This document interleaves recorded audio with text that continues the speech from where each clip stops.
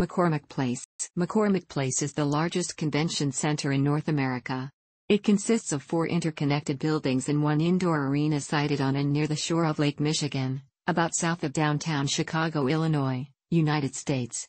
McCormick Place hosts numerous trade shows and meetings. The largest regular events are the Chicago Auto Show each February, the International Home and Houseware Show each March, and the National Restaurant Association Annual Show each May.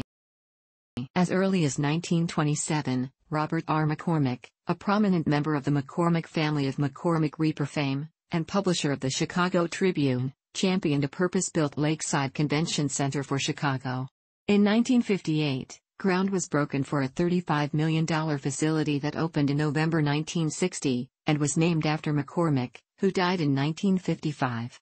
The lead architect was Alfred Shaw, one of the architects of the Merchandise Mart. This building included the Arie Crown Theater, designed by Edward Durell Stone. It seated nearly 5,000 people and was the second largest theater in Chicago. The 1960 Exposition Hall was destroyed in a spectacular fire on January 16, 1967, despite being thought fireproof by virtue of its steel and concrete construction. At the time of the fire, the building contained highly combustible exhibits, several hydrants were shut off and there were no sprinklers on the main floor where the fire started. Thus the fire spread quickly and destructively, taking the life of a security guard. The fire was investigated by a team led by Rolf H. Jensen, professor of fire protection engineering at the Illinois Institute of Technology, who later went on to found RJA Group. Many lessons were learned and the city's building code was amended so a similar situation would not be repeated. Although many wanted to rebuild the hall on a different site, Chicago Mayor Richard J. Daley elected to rebuild on the foundations of the burned building. The new design of dark steel and glass, by Gene Summers of C.F. Murphy and Associates contrasted markedly with the white look of the structure that had burned down.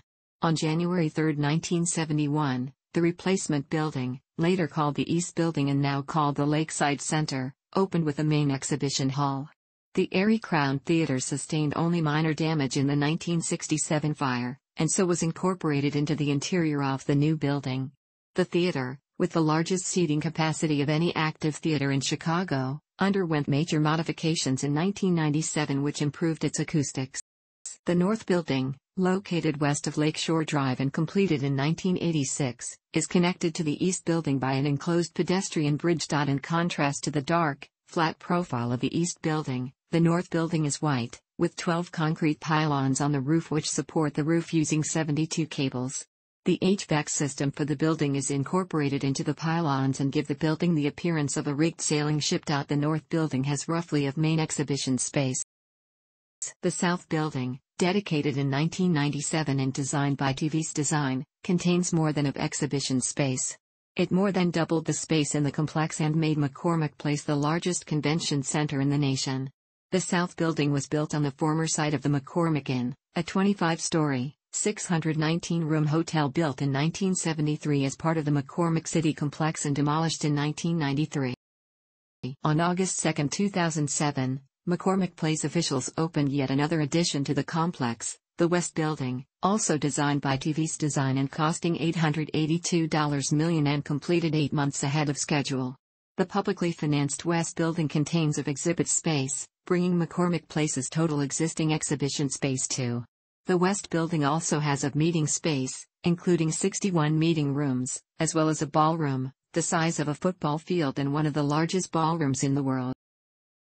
McCormick Place continued to expand in October 2017 with the opening of Wintrust Arena, a 10,387-seat arena situated on Cermak Road just north of the West Building. The new facility hosts DePaul University men's and women's basketball and the Chicago Sky at the WNBA. The new arena boasts 22 suites, 479 club seats, and two VIP lounges. In addition to Demon and WNBA basketball, the arena is equipped to host concerts, sporting events, meetings, and conventions in conjunction with the rest of the McCormick Place complex. Archival materials are held by the Ryerson and Burnham Libraries at the Art Institute of Chicago. The McCormick Place on the Lake 1971 collection includes photographs, drawings and project files documenting its construction. South of the center is McCormick Place Bird Sanctuary, created in 2003. The northern end includes a recreated prairie, covering the roof of the center's underground car park, and so requiring the use of shallow-rooted plants. The Metra electric line stops at a station in the basement of McCormick Place. The South Shore line also stops at the same station on weekends. The Chicago Transit Authority serves the facility with its Cermak McCormick Place station on the Green Line, approximately half mile west, and two bus routes. The McCormick Place busway runs 2.5 miles from Lower Randolph between Michigan and Columbus in downtown Chicago to the convention center. It uses the lower levels of the multi-level streets near downtown, and surfaces to follow the Metra Electric District right-of-way to outside the South Building off McCormick Place. Opened in 2002 at a cost of $43 million, it is meant to provide a fast way for visitors to move between northerly hotels and the convention center, but is also used by buses to Soldier Field, public safety workers, Metra, convention contractors, Art Institute deliveries, and occasionally government officials.